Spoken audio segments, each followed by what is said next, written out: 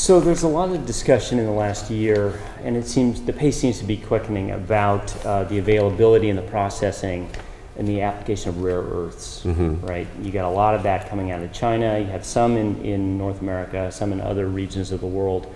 Give us a little perspective on, um, on what's going on there. Um, What are the most cost-effective materials um, that are being used in advanced applications today? I think we're taking commodity materials like a copper or aluminum, uh, even nickel, and you add these rare earth, like a beryllium, you add to it to make it that much better.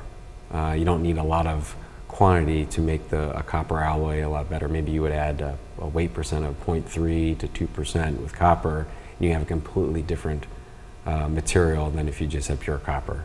They're, they're night and day different, their material characteristics and the, the properties that they can produce and what uh, inventor can do with that material and take it to the next level in their applications. So, um, so I think you know, from the United States, it's just taking those resources that we have because there's only two um, beryllium mines in the world. Uh, one of them is here in, in western United States, the other one's in, in Russia.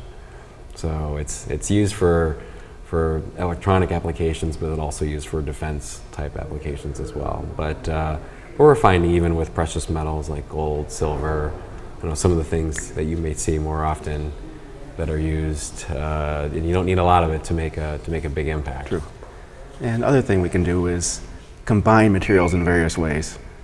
Like, for example, putting uh, inlay clad materials into other materials, like putting silver into a copper alloy, for example, to give a high conductivity spot on a particular connector and still have a strong copper spring base metal.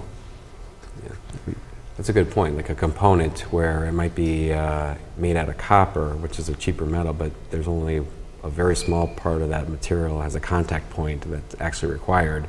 You know, there is where you, you, you put a lot of the value in it. You know, whether it's a gold plated or a silver plating, you know, that particular part of the component is where the, the integrity is most important.